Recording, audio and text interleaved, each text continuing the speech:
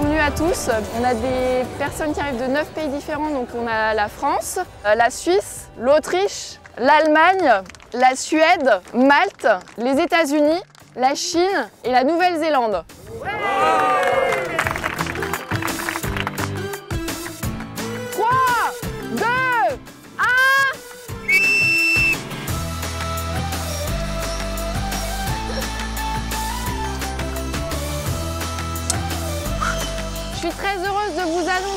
au niveau du vainqueur solo, on reste constant, hein, avec 10 minutes et 40 secondes pour les duos. Ils ont mis 6 minutes et 28 secondes. 3, 2, 1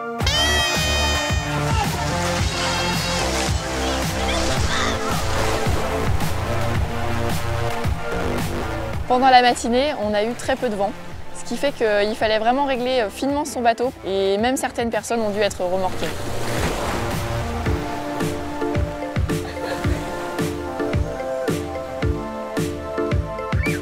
Midi, on a tous partagé un déjeuner dans un cadre absolument euh, magnifique. On a aussi euh, eu le plaisir d'assister à la Tiwal Kids Cup.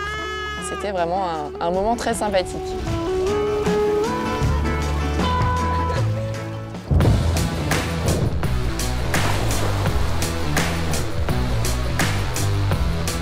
Le vent s'est mis à souffler beaucoup plus fort durant l'après-midi.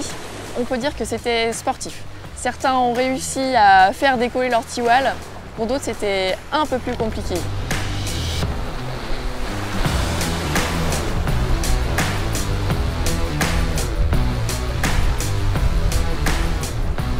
Everybody's been so friendly and such a nice community feeling here. So I'm so happy I've come. Moi, en fait, je viens de la voile habitable, donc j'ai très peu d'expérience en voile légère.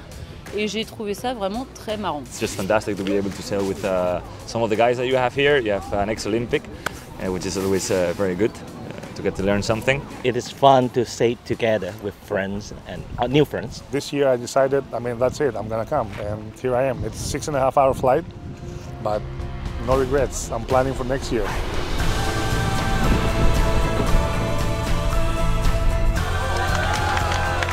L'année prochaine, moins de 6 minutes.